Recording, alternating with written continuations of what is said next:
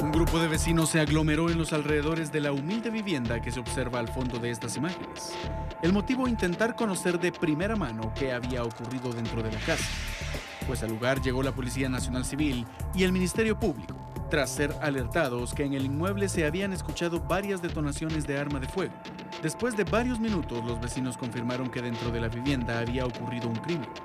De acuerdo con las autoridades, la víctima mortal fue una mujer que vivía en esa casa.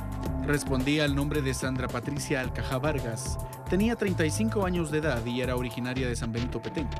La vivienda donde ocurrió el ataque armado se ubica en la calle límite entre los municipios de Santa Elena y San Benito. En el inmueble, las autoridades también encontraron varios recipientes de bebidas alcohólicas, recién consumidas, por lo que no descartan que el atentado haya sido el producto de una discusión al calor de las bebidas embriagantes.